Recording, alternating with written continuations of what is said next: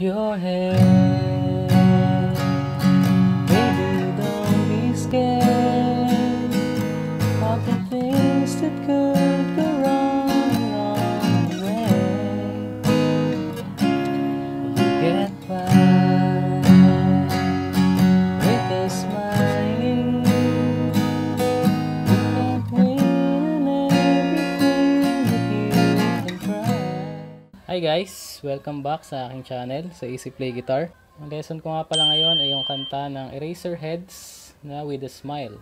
So bago ang lahat guys, naka half step tune down nga pala yung tuning natin. So kung naka standard tuning kayo, okay lang din naman guys. Pwede rin kayong sumabay sa akin. Yun kasi yung original recording ng Eraserheads eh. So ayan. Start tayo sa mga chords na gagamitin natin sa buong kanta. So, start tayo sa G. A minor,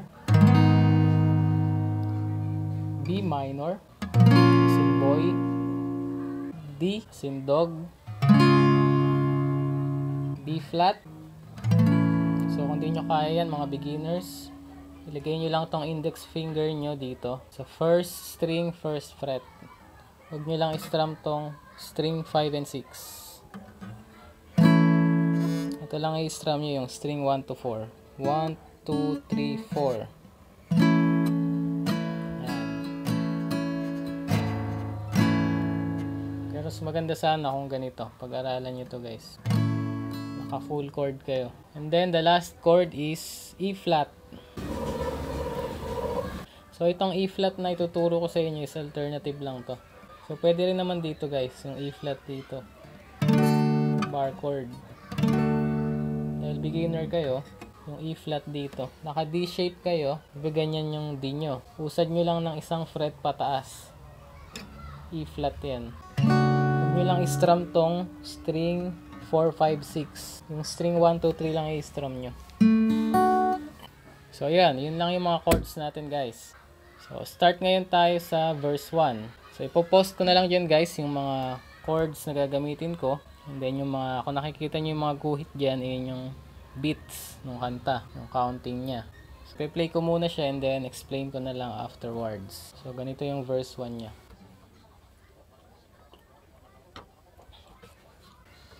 Lift your head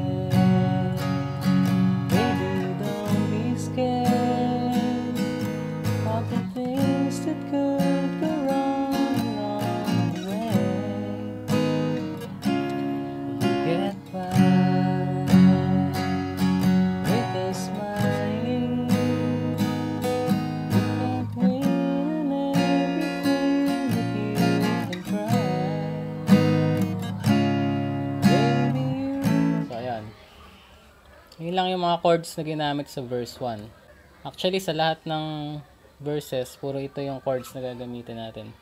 Ang strumming doon is ganito lang. So, 4 counts.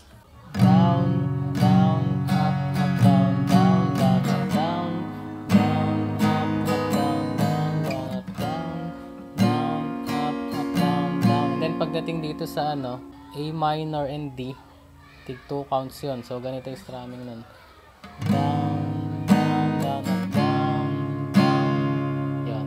Strumming niya. 2 counts ng A, 2 counts ng D. So, ayun lang yun. So, after nun, pasok ka na sa chorus 1. Pe-play ko muna yung last part ng verse 1 and then diretso ako sa chorus. So, ganito yun. You can't win in everything that you can try. Chorus, baby,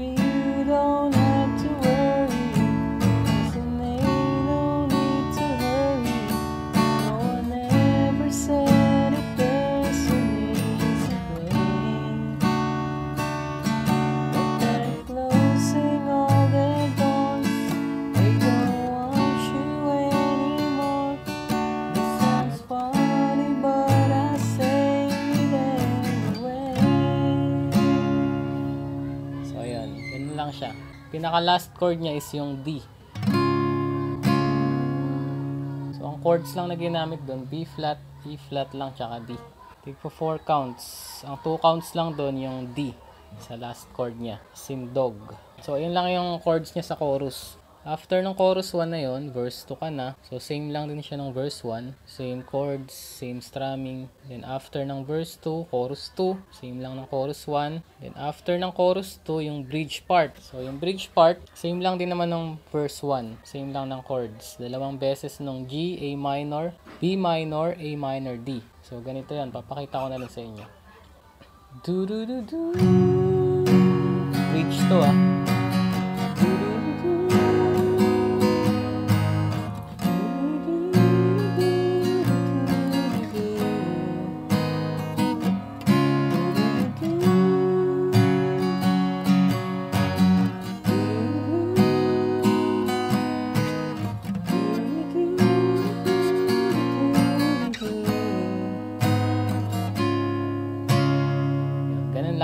Dalawang beses. So guys, ano nga pala, pwede kayong gumawa ng strumming pattern nyo. Strumming na tinuro ko sa inyo na to, recommended ko lang yon kayo pa rin bahala. Gawa kayo ng sarili nyong strumming. So ayun, after ng bridge na yon, chorus 3 ka na. So yung chorus 3, same lang nung chords na ginamit sa previous choruses natin.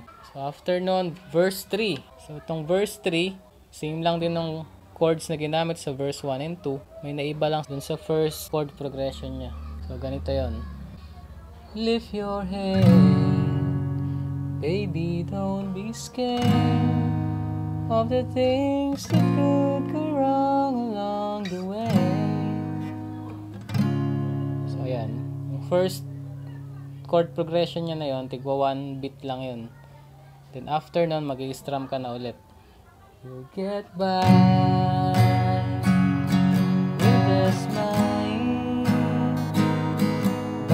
time to kiss away these things goodbye. And then, pasok ka na ngayon sa outro. So itong outro, same lang din naman ang mga chords na ginamit sa mga verses natin. Nadagdagan lang siya ng chord progression. Bali yung G, A minor, B minor, A minor, D. Limang beses nyo ulitin yun. So, ganito yun. Tu-du-du-du. So,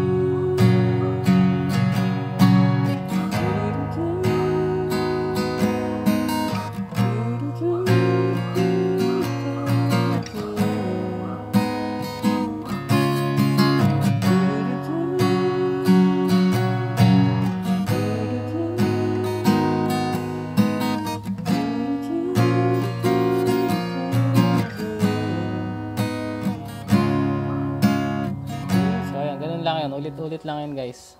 Then, sa last part niya, yung may guitar riff dun. May solo part dun. So, yun yung pinaka-last part niya. So, ayun lang, guys. Maraming salamat ulit sa panonood sa aking channel. See you next time ulit on my next video. Please subscribe. Bye-bye.